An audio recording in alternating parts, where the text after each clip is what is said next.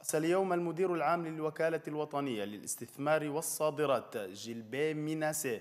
فعاليات مؤتمر النقاش حول المشاكل التي تواجه النساء المستثمرات في تشات تقرير عبد الله إبراهيم شرف الدين بصوت روضة صالح الحاج.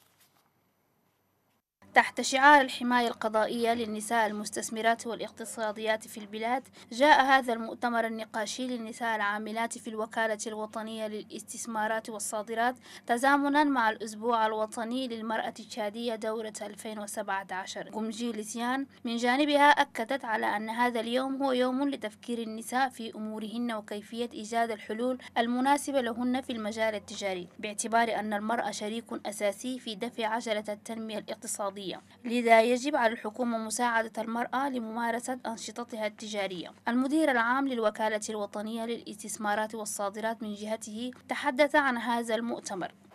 الأوين بسألوا لي حكومة ليس إتمان أم. إتمان أم ما أوين دول كله.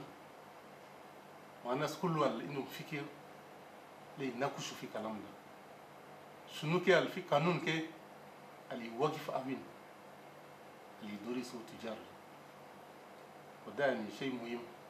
وفي نهاية المؤتمر طرحت أسئلة من قبل المشاركين والمشاركات جلها تنصب تحت كيفية سير قانون العمل التجاري أجابت عليها المحاضرة بكل وضوح.